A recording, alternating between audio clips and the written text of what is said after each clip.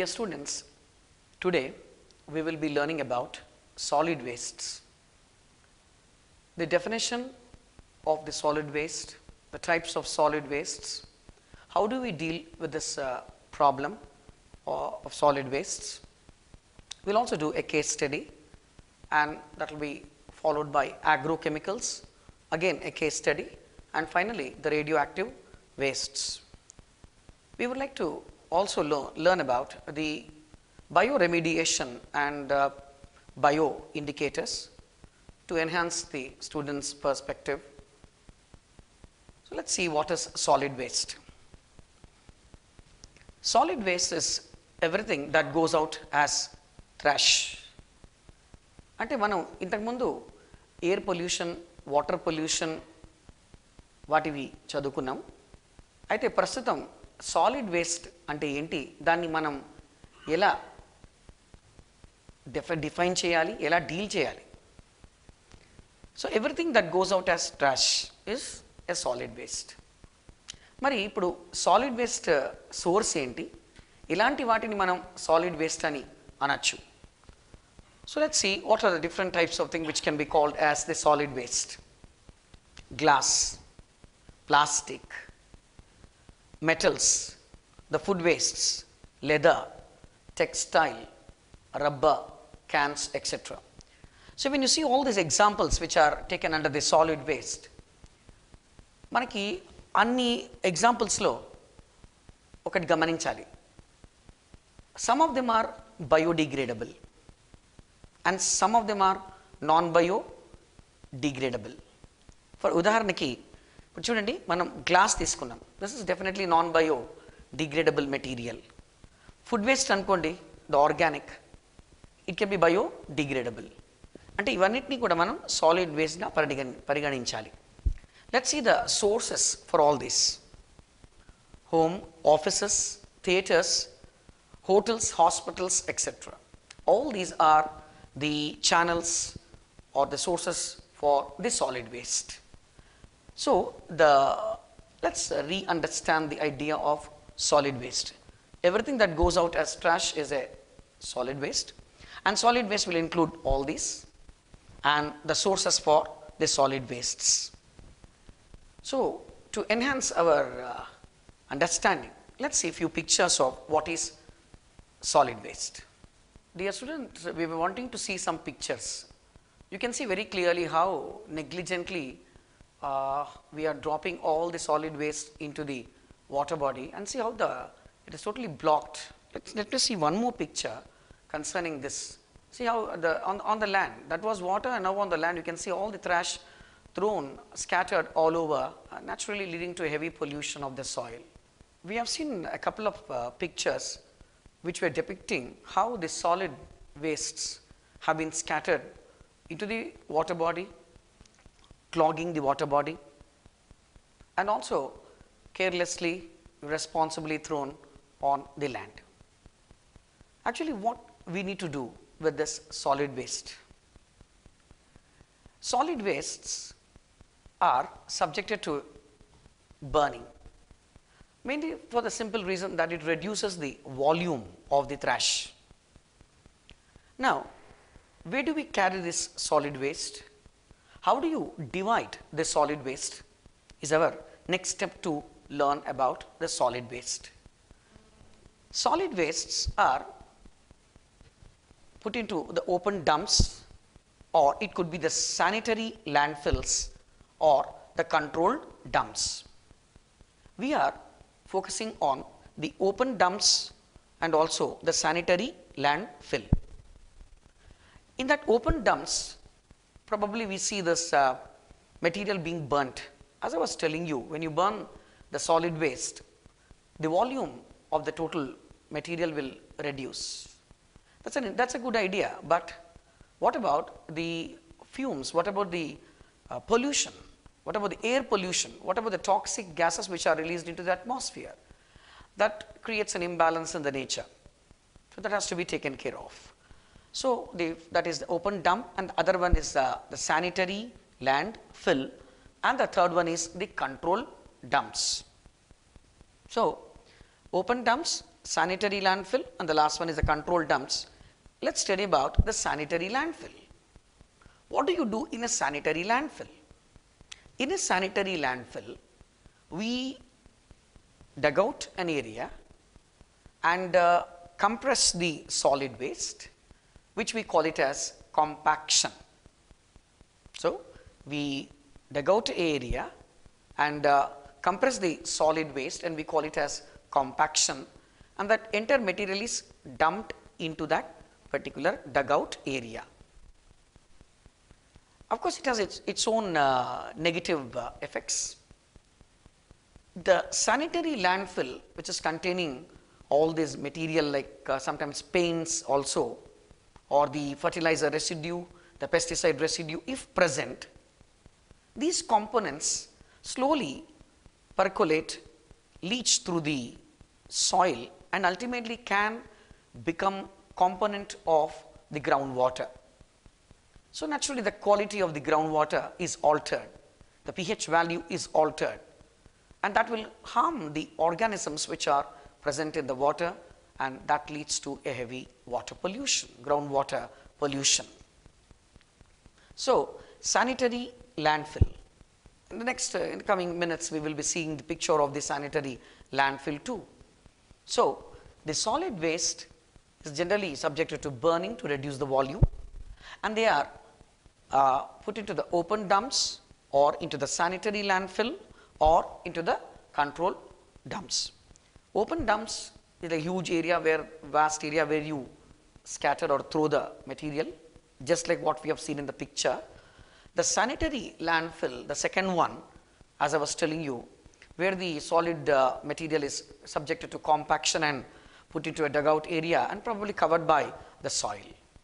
This will have its own effects. There could be percolation of the material, leaching of the material.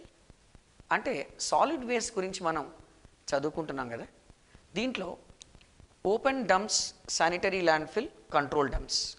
ఇక open dump అంటే ఇక dump అంటేనే అలా వదిలేసి వెళ్ళిపోవడం. ఓపెన్ డంప్ అన్నాం అనుకోండి ఆ ప్లాస్టిక్ ఆ గ్లాసు ఆ క్యాన్స్ అవన్నీ కూడా ఆ ఓపెన్ ఏరియాలో పడేసి వెళ్ళిపోవడం.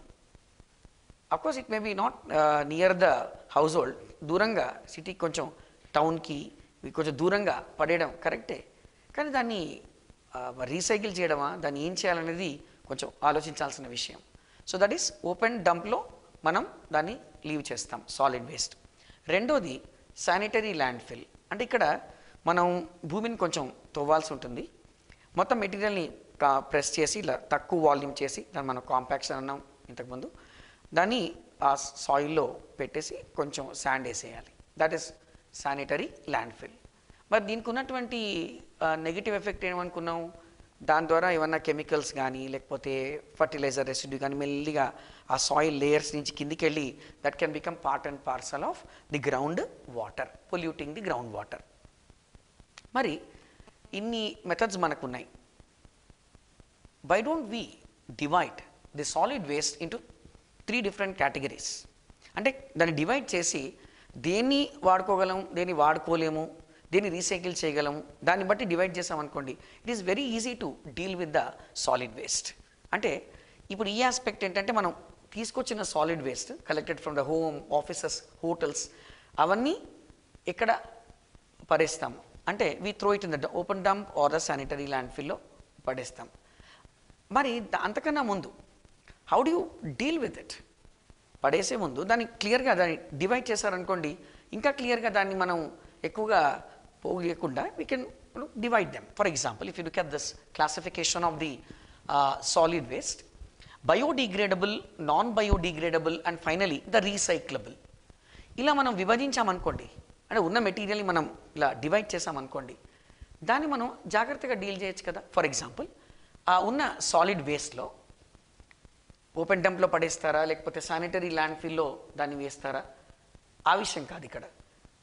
మనం పడేయబోయేటువంటి దాన్ని ముందే విభజించామనుకోండి ఎవరిని మనం డిస్పోజ్ చేయొచ్చు ఎవరిని మళ్ళీ వాడుకోవచ్చు అనే అనే విషయం మీద మనం ఇప్పుడు ఫోకస్ చేస్తున్నాము. బయోడిగ్రేడబుల్ అంటే for example the vegetable material the organic material ఏదైతే ఉందనుకోండి అది మన సాయిల్లో వేసి మనం అలా మైక్రోబ్స్కి వదిలేసామనుకోండి డీకంపోజ్ అయిపోతుంది. Naturally will get wonderful fertiliser which can be use for the plants growth మరి non biodegradable for example plastic ఉంది గ్లాస్ ఉంది. దాన్ని మనం దీని నుంచి విడదీసాం అనుకోండి ఆటోమేటిక్ ఏమవుతుంది? ఇది పనికిరాదు దాన్ని మనం వదిలేయాలి. మరి దీన్ని రీయూస్ చేసుకోవచ్చు కదా. ఇప్పుడు రెండింటిని కలపడం మూలాన ఏమవుతుంది? అన్నీ ఒకటే ప్లేస్లో ఉంటున్నాయి. And we are not able to you know segregate correctly not able to you know reuse them correctly కాబట్టి సాలిడ్ వేస్ట్ని తగ్గించాలంటే ముందుగా ఆ సాలిడ్ వేస్ట్ని బయోడిగ్రేడబుల్ నాన్ బయోడిగ్రేడబుల్ లేకపోతే అది రీసైక్లబుల్ ఆ కేటగిరీని బట్టి దాన్ని విడదీయాలి మనం. For example rag pickers they certainly do a very extremely good job by you know segregating by separating the solid waste in to the non biodegradable biodegradable or the recyclable అంటే ఇలా మూడు విధాలుగా మనం సాలిడ్ వేస్ట్ని సపరేట్ చేస్తే దాన్ని deal చేయడం చాలా సులభం అవుతుంది మరి ఇక్కడ మూడోది చూద్దాము. రీసైక్లబుల్. ఇక్కడ రీసైక్లబుల్ అన్నాను అనుకోండి అయితే పాత మెటీరియల్ని మళ్ళీ మనం రీసైకిల్ చేసి మళ్ళీ వాడుకోవచ్చు. వాడుకలోకి తీసుకురావచ్చు మళ్ళీ దాన్ని. So that is about the division of the solid waste so let's recall the idea of the solid waste year మనం ఈ సాలిడ్ వేస్ట్ని ఓపెన్ డంప్లో లేకపోతే శానిటరీ ల్యాండ్ ఫీల్డ్లో కంట్రోల్ డంప్లో మనం దాన్ని తీసుకెళ్ళి వదిలేస్తాం. తర్వాత అంతకన్నా ముందు మనం దాన్ని మూడు విధాలుగా విభజించామనుకోండి దాని సాలిడ్ వేస్ట్ని ఎలా డీల్ చేయాలో మనకి ఇంకా సులభం అవుతుంది. And that is biodegradable non biodegradable and recyclable మన పర్యావరణాన్ని కాపాడాలంటే what is the best way to you know protect our environment around us why don't we think positive about reducing the garbage అంటే మనం ఈ గార్బేజ్ని తగ్గించాలి అనేటివి ఒక ప్రయత్నం తప్పకుండా చేయాలి.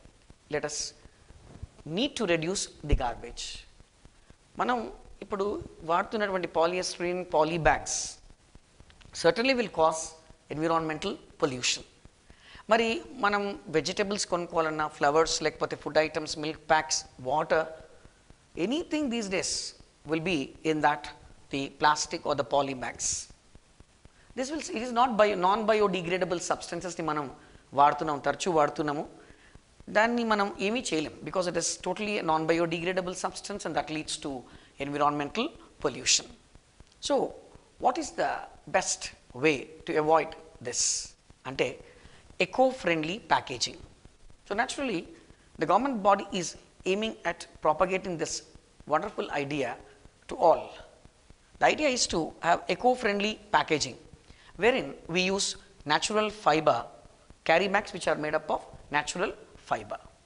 So we were dealing with a, at a very tiny micro topic called the solid waste.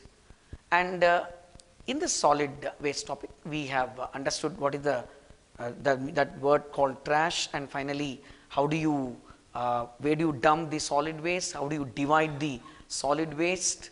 And finally how, how this can contaminate the groundwater? And uh, how do you reduce the garbage and finally the best solution for reducing the solid waste is to use the eco-friendly carry bags which are nature friendly recyclable and reusable and washable and of course healthy. After learning about the solid waste, let us now continue our journey in learning about the solid waste further. What about the hospital wastes? What does this hospital waste generally contain? So fundamentally speaking, it will contain uh, these disinfectants, naturally syringes and cotton, the bottles, etc. So all these uh, different uh, components will form the hospital waste. Apart from that, let us also learn that the sewage from the hospital is also one of the principal sources for the water pollution. So let's talk this aspect first, then about that aspect. See, the hospital naturally there will be sewage, and that will contain harmful disease causing microorganisms and also the harmful chemicals. Apart from this, it will contain the human feces. When all these uh, components, the mixture of different things, is added into water, it leads to water pollution. So we are adding feces, we are adding the microorganisms, the pathogens, the different chemicals into the water body. So naturally that water body which is you know enriched with the organic matter will show an alteration in the BOD and the COD levels. The BOD will be greater than the COD, the oxygen depletion will begin and the aquatic organisms are deprived of oxygen and their survival will be difficult. And what about the water contamination? The highly definitely contaminated water. So by chance when this contaminated water is consumed, that leads to diseases. And what could uh, be the various uh, microorganisms which are prevalent in this water? The E. coli,